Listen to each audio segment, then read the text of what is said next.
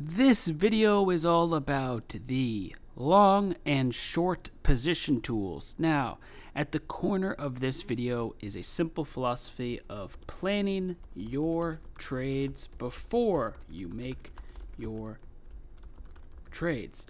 So doing the research you need, don't just buy randomly or on a whim, whim plan your trade out.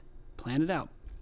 Now, the long and short position tools can be found right here prediction and measurement tools, click to open the menu, and then select. We're going to walk you through an example of how to use these tools. Now, on the chart in front of you, we are looking at AMD, daily, and we have candles selected. Over here to the right is a volume profile. So, this volume profile is telling us how much trading volume happened at each price level. And this area that we just highlighted in the middle seems to have the most volume. So at a price of anywhere from $83 down to about $79, there is a lot of trading volume. So we're going to structure a trade that will bounce off this volume. Now, what we do is we select our long position tool and we're going to click to place the trade right there. Now, what you see is a green box and a red box. The green is our profit zone. The red is our loss zone, and we can adjust this to however we feel. We are going to plan our trade. So let's get right to it. Now, we know our entry point.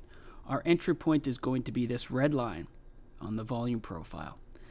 If it enters this region with this volume, we're going to go long. If it hits this level, we'd like to trade this all the way up so it would hit this line and then we want to trade this all the way up to its prior highs here, so this region. So to do that, all we have to do now is drag, let's make sure we have this tool selected, drag this green box to that area. Now we can delete these drawings and we can really make sure this area is refined now by perfect. So we can just sort of uh, add a horizontal line here. We want to put it right here. I see these two candle wicks right there. So let's drag this up even a little higher. So when price returns to its all-time highs here, we want to see if we can just get out and take our gains. So that is going to be the long portion of the trade. That's this green box. Let's zoom back out to this level to these levels here. Now our short trade is going to be uh, an exit if these levels break. As you can see, there was sort of some support here, right? Price entered this area and bounced, entered this area and bounced, entered this area and bounced. You get the idea. So these levels here, if they break, we want to get out. So we're going to drag this up. Oops, once again, we have to make sure we have our tool selected. We're going to drag this up just a bit, and right there, it's just perfect. So if this level breaks, this zone here, we're out. That's the red portion. So now we can visualize our trade perfectly. We'll write it in. This is going to be our entry point. So this red line's our entry point. This green box here is our max profit target. And this red box at the end is our max loss stop target. So now we've mapped out our trade. We've planned the trade and we can see it right here on the chart. This is so much better than just simply buying or selling. We actually now have done a little bit of research, looked into the chart, thought through our risk reward, and now we can decide if we, if we really want to take the trade. So by the way, you can double click on this tool and you can change its look and feel. So as you can see, stop color, red, target color, green. You even have uh, full control over the text, so that's this information up here. You can have compact stats mode activated or not activated and watch the difference. When you have this box checked, you'll see the, the text goes away, so it just makes the box smaller. So we check, gone. Let's actually turn off compact stats mode so that now you can get a feel for all of the stats available to you when you use the long position tool. So we can actually now delete this text. Let's delete this. And now when we hover our mouse over the tool, we can see our target, our profit, a 22% gain, 21.99%, as well as the amount. We see our open profit and loss, quantity, risk reward ratio, and then of course our stop. So if we want to adjust this, and if we don't think the risk reward ratio is actually good enough, well, we could try to maybe tighten our stop to bring it up to about 2. Or, or this is why we do this, we say, you know what, this trade is not worth it. Let's move on to another chart. So these, this tool is really important for that. It's not so much about executing the trade, it's actually about seeing the trade on your chart. You can now see it right here and plan accordingly. Most importantly, you can decide whether you even want to take it. Don't just buy or sell on a whim. Visualize it on your chart. Study the stats and numbers, the potential payoff or loss, and then decide if you, if you even want to take it. If you do believe this trade looks good and you want to take it, well, you can set your buy order right here off this line. If it hits this red line, which is our entry point, then the trade is activated and you can now just sit back and wait. So there is a planning process involved and this long and short position tool will help you plan the trade accordingly. Now a few more quick points. If you double click, you can also adjust your inputs manually right from the settings. So you can actually enter your account size, maybe it's just a thousand, the lot size, your risk, your entry your entry price. Now this is really important because maybe you want to adjust your entry price to be 81 even. See it just recalculated. Maybe you want to have your profit level be 99.99 even. So there we go. So right before 100. Now maybe you want your stop loss to be 73.05 and now you've tightened up this long position by entering in the exact stats that you need to see. So this is really important. You can also control the lot size. And of course, you can also control the risk.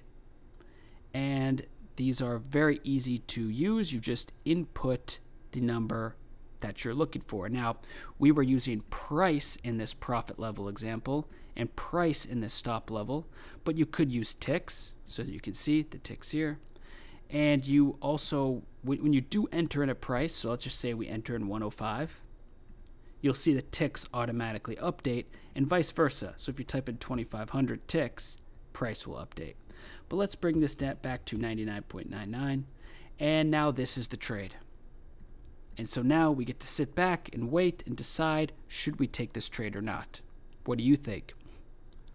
Okay, let's move on to another example. We'll go on to a chart of Twitter. And now for this trade, we actually do not need our volume profile.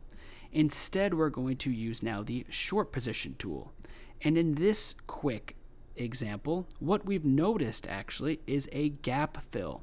So a gap fill is when price drops in pre-market or after hours trading and creates this empty space. So like look at this empty space right here. That's just a gap. And there's an old adage in trading that these gaps tend to get filled. So it, the gap gets filled when price retraces. So you can see it's starting to retrace this gap. Well, now that the gap is filled right here, we want to place a short position. We think that this will act as resistance. So this this prior area of support is now going to turn into resistance after the gap fill. So here's what we could do. We could go to our short position tool and click, find the perfect entry, which is going to be this gap fill here, right when the gap is filled, and click, and now our short position tool is shown on the chart. So a short means we're betting on the mar on this asset to go down. That means if it goes up, we're in the red. If it goes down, we're in the green. So it's the opposite of the long position tool. Now our stop will get triggered if price breaks this resistance. That would be quite impressive. So we'll make sure that we have this. Let's see here. We have this down to about here. If it breaks these highs, we if it breaks these highs, we want to get out. And what's so interesting too in this example is Price could not break these highs even before, and then it looks like some bad news came out, earnings, and boom, it went down after not being able to break these prior highs. So we're going to take that similar approach, these highs, and apply that to our short. If it can't get over those, we'll stay in the trade, but if it breaks above these, we're going to close. So this red area shows our stop position, 5%. Now for our profit, we believe where it's going to test its lows. So we'll take this short, we have to remember to do this to get off our brush tool, and drag it all the way down here. And now we can see the trade directly on the chart and we can decide if we want to take it or not. Here's our stop, here's our target, here's the risk reward ratio 3.9. It's a little better than the previous trade, but the point is we're now planning our trade before we're taking the trade. So this is really, really, really important and it's key just to getting started because now you don't rush into a trade. You can actually take your time and you can plan your trade out. So remember, get started with these tools, long position tool, short position tool, and take them for a spin. It changes everything to be able to see your trade on the chart. That's what we really want you to walk away from this video. You can see your trade on the chart and decide, should you take this? Should you wait? or maybe should you just leave it open and come back to it later? It's really a powerful tool for that to be able to visualize it on your chart like this and think deeply about the opportunity and whether it's even worth it. So thanks for watching. We hope this tool helped. Get started today just by selecting one or the other and adding them to your chart. Thanks for watching.